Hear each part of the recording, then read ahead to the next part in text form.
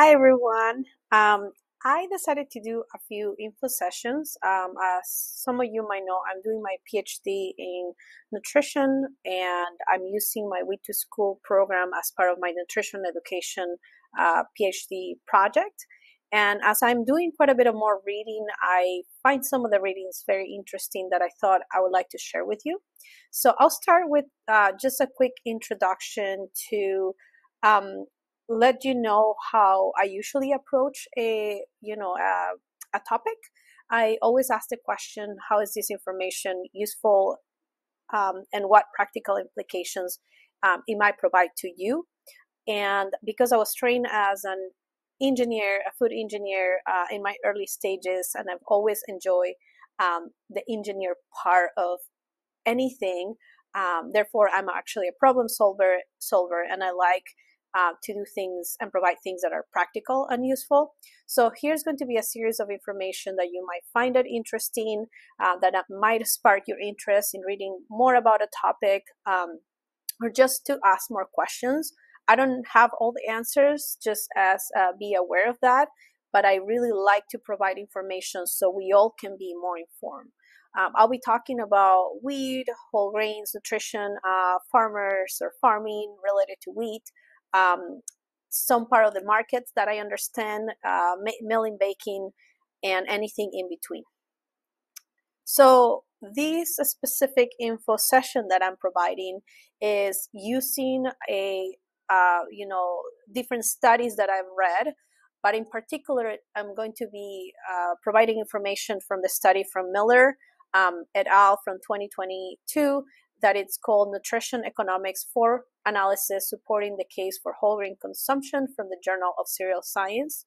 And I definitely encourage you to find these papers. Some of them are open access and to read more on your own and to actually understand more whether you know whether providing the information they're providing as any research that we do it's not perfect it has limitations so i encourage you to look for yourself to question the studies, the methodology um, that they have utilized. But at the end of the day, what we're trying to do is provide information and inform us so we can continue, um, you know, filling the gap of research and information that we need to find out. So the main findings, I go straight to the chase, is um, some of the things that I found interesting from this paper was the statements that I'm going to be including here. Uh, diets low in whole grains uh, were the second leading diet related cause of death behind high sodium. This is actually based on the Global Burden of Disease study of 2019. Uh, most death related to diets uh, uh, low in whole grains were the results of cardiovascular disease. The second part that I found interesting was that potential healthcare cost savings. Um, the, these studies suggest that there is going to be a potential health healthcare cost savings for cardiovascular disease, coronary heart disease, cancer, and diabetes between hundreds of, million, of millions to billions of dollars in healthcare uh, expenses. The studies cannot be compared. That's what the um, authors found due to the differences in health economic modeling use, but they do provide enough information about the potential benefit benefits of increasing the consumption of whole grains to improve population health and potentially decrease healthcare costs associated with these diet related diseases. Um, the takeaways really that I want to present to you is this very powerful information that we have. One is that the US has the highest healthcare cost per capita. Um, as you can see in the numbers here, we're, uh, we're almost 17 about 17% of the GDP is spent on healthcare costs. That's at about $10,624 per person. Uh, compared to let's say Finland, that is four thousand five hundred sixteen thousand dollars per person. That is roughly nine percent. In fact, as I say, we're the highest, um, you know, a country spending on healthcare cost. The next part that I think it's very interesting to see is, and and there there there's other information in this paper so go ahead and read it but i'm just giving you the part that i found the the most impactful which uh, is the potential uh, healthcare cost savings by increasing whole grains at 100% of the recommended intake by the dietary guidelines of Americans, which is roughly 48 grams per day. Um, and that says that uh, for cardiovascular disease is 21.9 billion dollars, and for coronary heart disease is 14 billion dollars in direct savings. Very important. This is assuming that it's an immediate adoption, but also very important that the predicted savings was significantly higher in the U.S. than Australia and Finland. Uh, understanding that the US healthcare cost is greater by a factor of two, even when the population difference was factored in. Um, I want to highlight two of uh, quotes that I found from this paper interesting and my comments and basically part of the solutions that they're providing. Uh, one quote uh, swapping whole grains for refined grain foods in the diet may be viable solution. So my opinion, yes, I agree. As soon as whole grain foods become widely available, price point is not a barrier and flavor and texture are improved. Comment two, this is a quote from the study. Government sponsored feeding programs represent an opportunity to promote public health and driving down healthcare costs by instituting whole grain requirements for grain foods. Yes, I 100% agree with this statement also.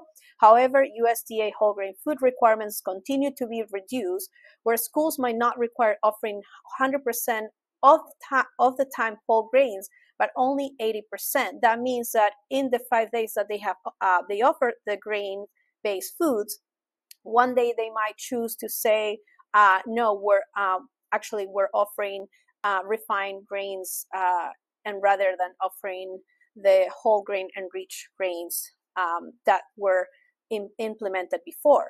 So, in addition, my firsthand observation of kids eating whole grain foods at the schools with our Wheat to School program and in collaboration with our uh, food service director is that most of the whole grain foods, foods um, that the children are offered right now, they're not very welcome by the children. They discard them, they find them that they do not taste good.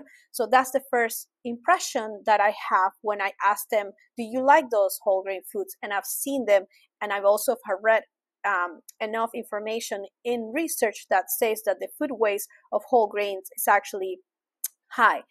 Now, I've seen also firsthand that um, that when you improve those whole grain products, making them freshly made, 100% whole wheat, as we have seen, uh, whether that has been a tortilla, a muffin, or a waffle, um, as I say in collaboration with the schools that we work with, the kids absolutely love them. And here's just one uh, of our tasting uh, graph that I can provide to you where children were testing our Patwin 100% whole wheat muffin, and most of them say they loved it. So, bottom line, uh, what I want to say with these is that I'm encouraged to see that there, there are studies out there that provides information or enough information for us to dig deeper that there could be a healthcare cost savings by increasing whole grain consumption. More importantly to me is how can we make this practical and useful to the people who are in this case, let's say feeding the children at schools, that they can get access to more freshly made whole grain products or they can make them in the school so the children are not only being offered but actually consuming those whole grain products and even farther that they will remember the taste the texture the flavor of those whole grain products that are so good that they'll carry that into adulthood to continue consuming whole grain products. And that's the end of my presentation. Um, we know it's possible and i encourage you to always stay curious to ask questions and to um, to just uh, help to move forward anything you can for uh, the whole grain movement. Thank you, and I'm Claudia Carter.